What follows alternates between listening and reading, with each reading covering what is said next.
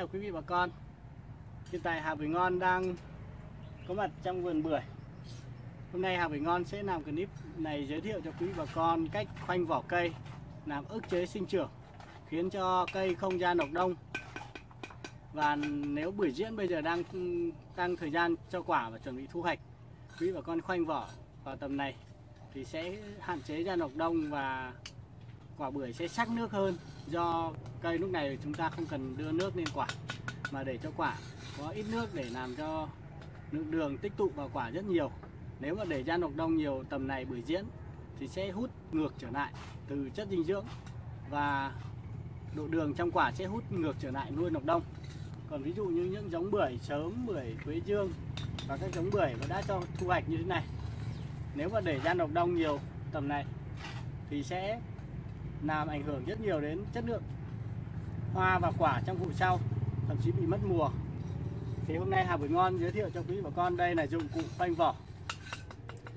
Cây chuyên dụng, một chiếc kéo và một cuộn băng dính quấn điện màu đen như thế này để khoanh vỏ và quấn luôn vào vết khoanh đó. Khoanh vỏ, quý bà con lưu ý chỉ dùng cho áp dụng cho những cây bưởi khỏe và cho quả, không áp dụng cho những cây bưởi yếu và những cây bưởi đang tạo tán ra, phát triển cây để à, cho cho ăn quả sau này. Tuyệt đối không dùng cho những cây bưởi chưa ra quả và những cây bưởi yếu. Cây bưởi yếu sẽ có cách làm ra quả khác chứ không phải khoanh vỏ như này. Và khoanh vỏ chỉ khoanh mịn chứ không khoanh hở. Tuyệt đối không khoanh hở. Và khoanh đúng vào thời điểm từ khoảng rằm tháng 10 âm lịch đến đầu tháng 11 âm lịch là thời gian khoanh vỏ cây hợp lý nhất không khoanh quá muộn, không khoanh quá sớm. Nếu thời tiết mưa nhiều vào tháng 9 thì quý vị có thể khoanh sớm hơn vài ngày.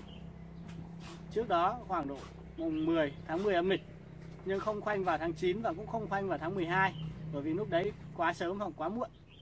Vết thương sẽ không kịp nành, nếu mà khoanh vào tháng 12 sang đầu xuân sẽ không kịp nành, không đưa chất dinh dưỡng lên được nuôi quả, nuôi hoa, nên là rất dễ bị rụng mất hoa không đậu được. Còn nếu khoanh sớm tháng 9 thì vết thương sẽ nành sớm và vẫn có thể đưa chất dinh dưỡng lên bình thường để đưa ra nọc đông, dinh dưỡng phát triển nọc đông. Nên là thời gian khoanh rất là quan trọng, từ khoảng dằm tháng 10 đến đầu tháng 11 âm lịch là khoanh. Hiện tại Hà Bình Ngoan đang khoanh lúc này là 19 20 hôm nay là 20 tháng 10 20 là 19 tháng 10 âm lịch gì đó.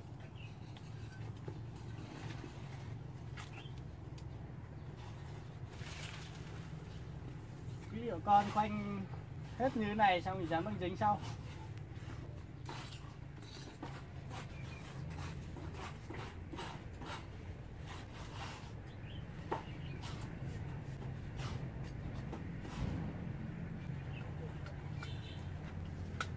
Hãy subscribe cho kênh Ghiền Mì Gõ Để không bỏ lỡ những video hấp dẫn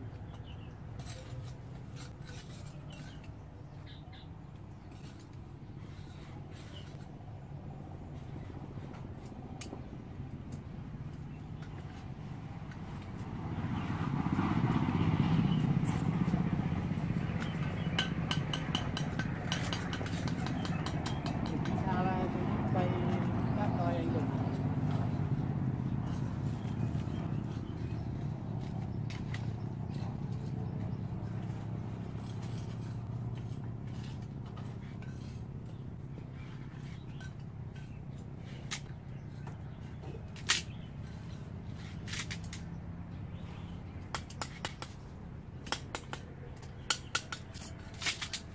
Thông thường quý vị bà con ờ, dùng kéo chuyên dụng như này, khoanh một gốc cây to như này chỉ mất khoảng độ 3 phút.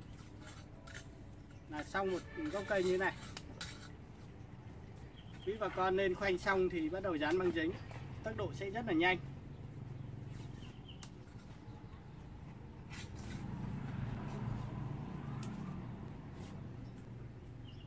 Hà tan giống trong chơi nó gắn để về chỗ anh khoanh mịn đây.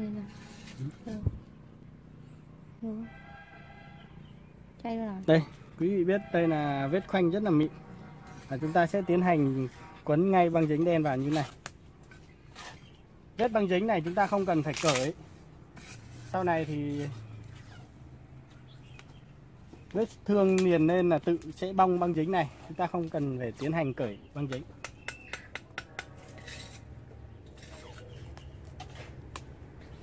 đây đây là một vết thương. Hà Bình Ngon vừa khoanh.